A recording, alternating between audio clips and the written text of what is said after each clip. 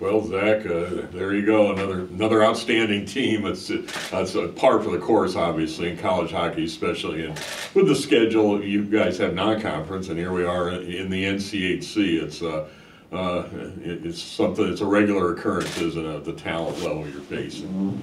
Yeah, for sure. I mean, headed in conference play here, uh, you know, that's kind of what we're going to see. Um, especially once we get into the second half, night in and night out is going to be uh, these top 20 matchups. So um, I think it's important for us to start well on that and uh, get out to a couple good wins here. Zach, you've had 30 points in the last 40 games played. Last week you talked about the confidence that last year brought you carrying into this year. Did, did things, has the game slowed down for you at, at, all? Is it a little bit more of a, a react versus a read and react situation on the ice for you? Yeah, I would say a little bit. I mean, um, I think you know sometimes you want to you want to slow the game down. And you want to um, you know be able to make plays and and, and you know read uh, read the options, but at the same time, you know I like to obviously play fast, so I kind of like to get up and down the ice quite a bit. So uh, I'd say it's a little bit of both. We've talked a lot about how new this team is. Half the players are new, but you've been reunited with a familiar uh, high school teammate of yours and teammate from Wisconsin. How's it feel to be reunited with Sam? Yeah, I mean it's awesome. Uh, you know, we grew up playing together, and then uh, through high school and at Wisconsin for two years. So uh, I've known him since I was you know eight or nine years old probably. So it's uh, it's pretty cool to have him here. Talk about uh, family support. When we go on the road here at Baxter Arena, we see a lot of jerseys with your name on the back of it. What does it mean to you to have that kind of support from your family?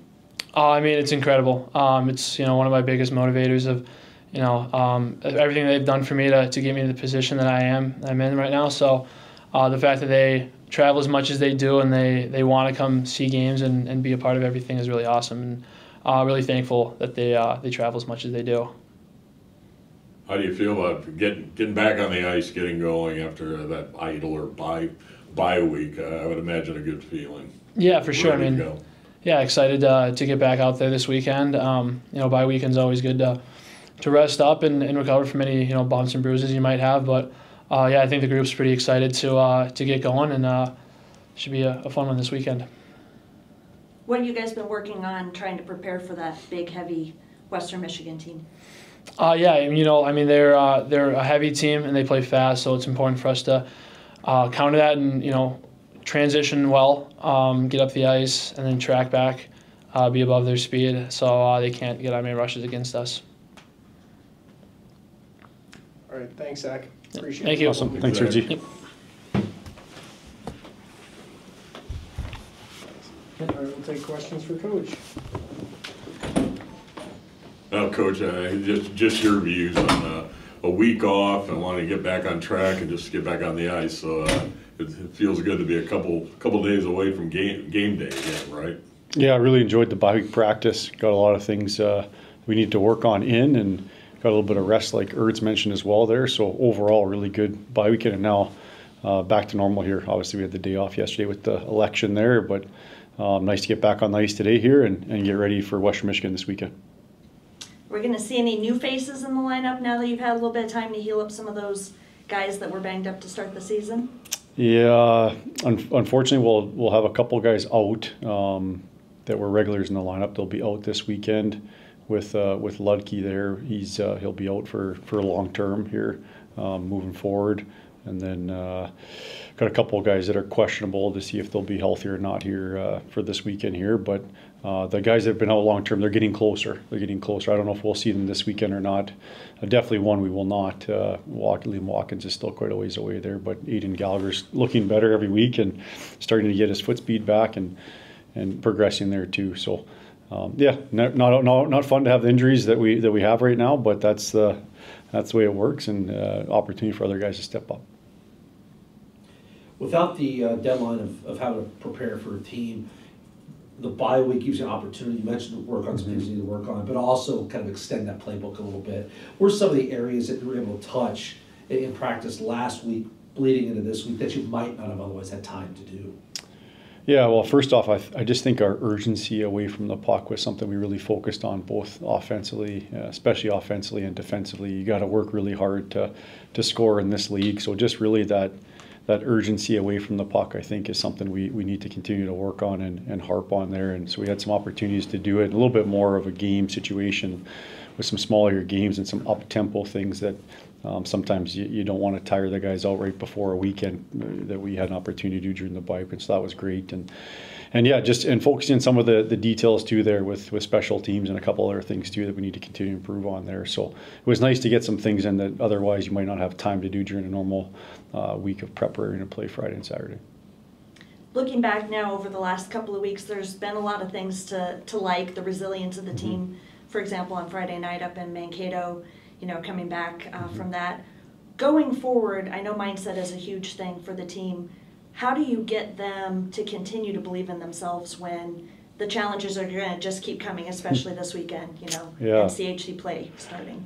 Yeah, that's one of the beauties of, of our league is you get to work on your mental toughness a lot, and uh, and it's just who you face on a on a nightly basis. And again, I think we've we've talked about it. Five out of the six games we played have been one goal games, so they're uh, those can be mentally draining at times there, and you don't know which play is going to be the difference in the game. Um, but you also have to prepare for that. You got to do it consistently, and it's not easy to do. But the elite teams find a way to do it. So I think that's been one of our focuses as well too. Just you know, you just have to be so on point all the time um, when you're playing competition that's so tight here. So really important that we continue that here this week and and keep our resiliency and keep our mental toughness. And it's not easy, you know, it's not easy to do, but it's an opportunity that we can do it. And I think I think the first thing is talking about it and, and making sure you, you address it and you keep working on it. Uh, um, it's something I think often people shy away from or don't like to discuss. And I think when you just you know look at it head on, that's how you grow and that's how you get better. From a athletic standpoint, uh, so speed kills, and it, yeah, especially in this sport, the world's fastest sport. And uh, talk about how, how much of an attribute that is for your team. I, I noticed it caught, it caught my eye, especially in that first half of uh, Saturday Minnesota State game. Uh, Hillman uh, was going around guys at times. Uh, Alexi got a chance to play, showed that. Of course, our previous uh, guest, uh, Zach Urdahl, uh, is that a pretty good hallmark of this hockey team? It's its skating ability. I think uh, I think players have to play to their strengths, and the, the three guys you mentioned, one of their strengths is speed, and uh, and I think they got to use it to their advantage. And, and like Erd said, he likes to go fast, he likes to push the pace a little bit, he likes to get that outside speed going, and he's very effective at it. So, I think again we're just kind of figuring out our team a little bit. Guys are playing in different roles, and and some guys maybe that's not one of their strengths is speed, you know, so they have to use other aspects of their game. But the guys that definitely have it, um, it's effective to use out there. I think that's a big time way offense is created in today's game is that is that speed. So uh, we got a couple guys that can scoot, and uh, when they're using it, uh, it's it's to our advantage as a team as well. looking at this Western Michigan team, really tall, um, big guys, what can we expect to see in terms of matching up with that? Again, it's very similar to, to what we saw with uh, UMass and, and Augustana and that sort of thing. Yeah, they're a big, heavy team that, that, that plays hard. They go north in a hurry. They um, they have some predictability to their game that uh, that they do. So you got to know what to expect, and so you got to make sure without giving too much of the game plan away. You got to you got to know what you're willing to give up, and where maybe you have to be a little bit more patient at certain things, and and then know how, as Erd said, to, to counter punch that as well too when you're playing an aggressive team that likes to go north in a hurry. So those are some things we're focusing on this week to to give ourselves the best chance at success here, and and you got to make sure that you know the players know the plan and.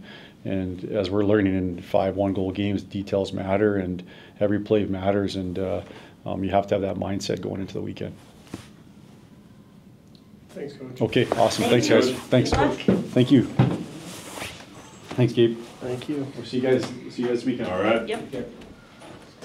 Hila, Thank you. take a lot of time